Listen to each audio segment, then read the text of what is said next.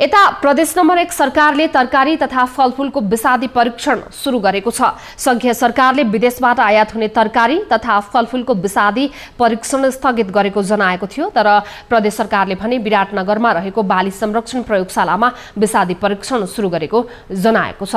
प्रयोगशालामा विराटनगर भन्सार नाकाबाट आयात तरकारी र फलफूलको विषादी परीक्षण गराउन सरकारले आग्रह गरेको छ। प्रयोगशालामा कार्बोनेट र अर्गानोफस्फेट ग्रुपको विषादीहरूको परीक्षण सुरु गरिएको बताइएको छ। आजबाट चाहिँ सुरु गरे हो। अझै पनि यो कम्प्लिट क्लियर भइसकेको छैन स्याम्पल आएको छैन आजसम्म। अब आउँदै क्रम होला। आउने भन्दा पनि हामीले लिएर आएर टेस्ट गर्ने हो क्या बजारहरूबाट। बजारहरू नाकाहरूबाट।